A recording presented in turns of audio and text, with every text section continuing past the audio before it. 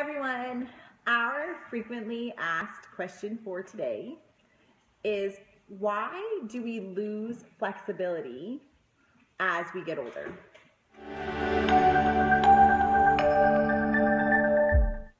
As I'm sure that many people can attest to, even if there is no arthritis in your joints, you don't feel as flexible as you did when you were a kid.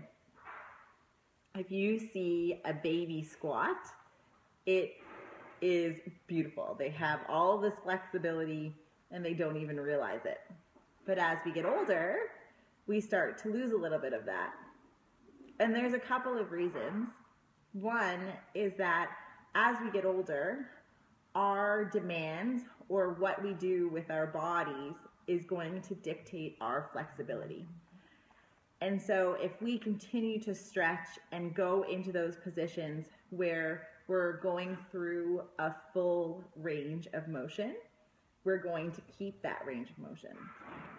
But if we spend nine hours a day sitting where our hips are only at 90 degrees and they're not in that full squat, eventually we get stiffness that develops because our body adapts to what we're asking it to do.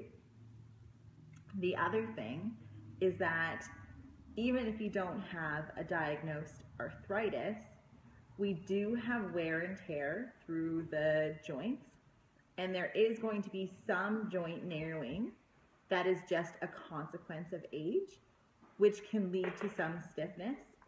And in the spine, the width of our disc can decrease over time. And again, that's just something that's normal with age and gravity, as much as we may hate it.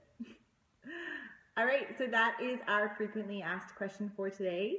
Check out the blog at staveoff.ca slash blog, and we'll see you next time. Oh, or comment below. Bye, guys.